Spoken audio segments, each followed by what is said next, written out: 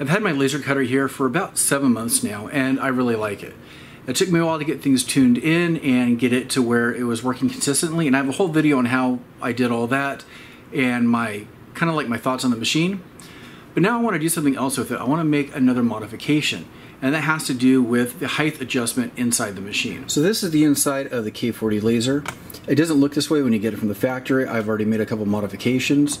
I have new mirrors and a new lens. I have an air assist and I have a drag chain here on the inside that the air assist runs through.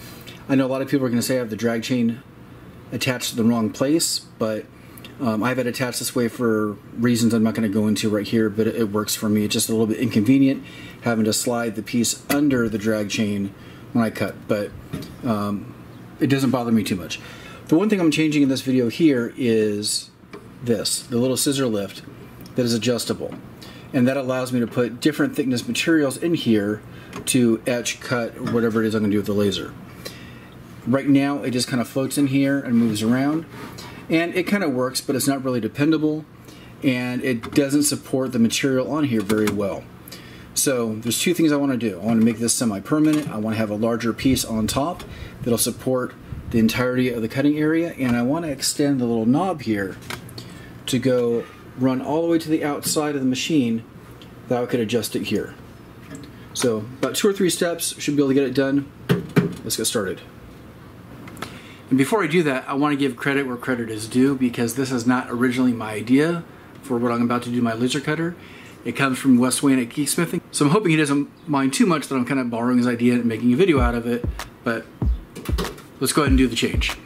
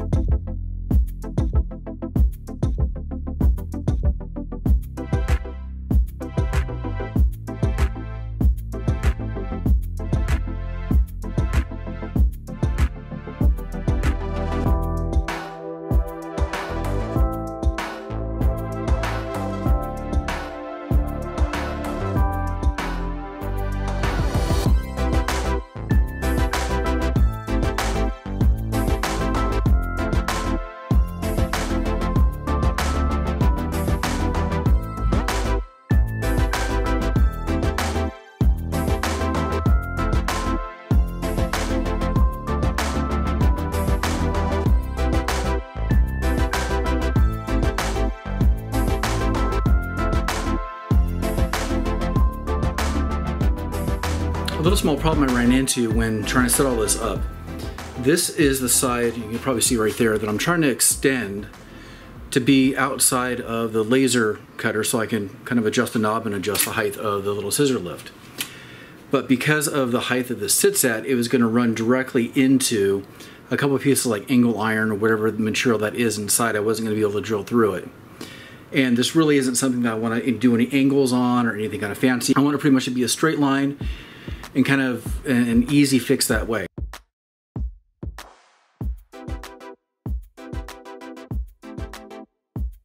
I think I got this figured out. I'm not going to be able to mount the scissor lift this way because of everything that it runs into. And the vertical height that the knob travels is going to run into too many things over here. But if I simply turn it this way, I should be able to extend this to the outside of the laser and have it work there.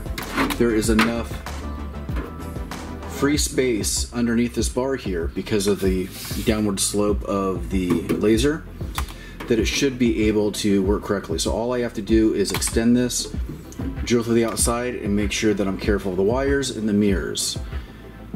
Conceptually, it sounds easy. It should be, but let's see if I can do that without fouling things up too much.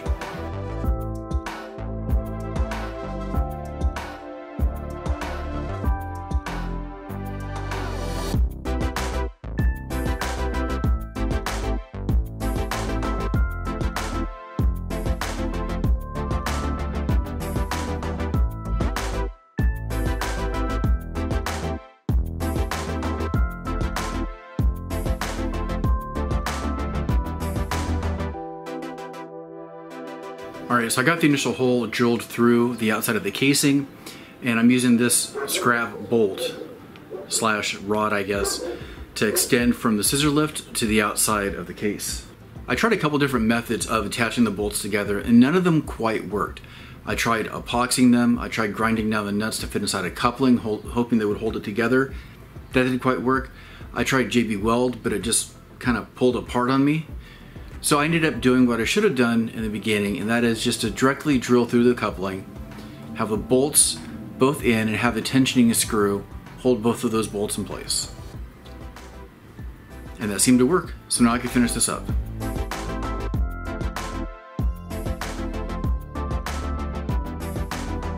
So I have just about everything put back together, and it's working pretty much the way I intended.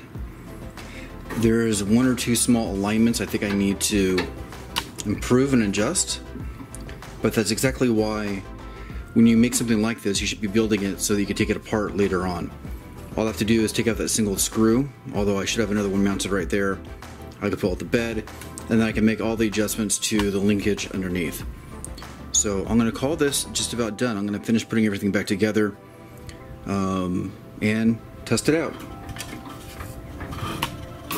think it's going to work. Well, it's done. And it's far from perfect. I'll be the first one to say that. Some of the linkage still needs a little bit of alignment, and the metal top is still a tad bit flimsy, but everything works pretty close to the way I intended. And for most of the day-to-day -day cutting that I do, it'll work just fine. If I ever need to take it out, make an adjustment, I have one or two adjustment screws to take out, and I can take out all the pieces that I just put in. Overall, it was successful. I'm able to adjust the height from the outside of the machine, and that's really about all I wanted out of it. I know that a lot of you are probably yelling at your screen and thinking that you could have done better, and you probably could have. You probably came up with solutions just watching this video that I hadn't even thought of. And I would love to hear about them, but make sure you reach out to me on the different socials because YouTube has my comments disabled. Otherwise, that's another build. That's done. On to the next one. Take care, subscribe, follow. Check me out on Patreon. Every little bit helps. See you next time.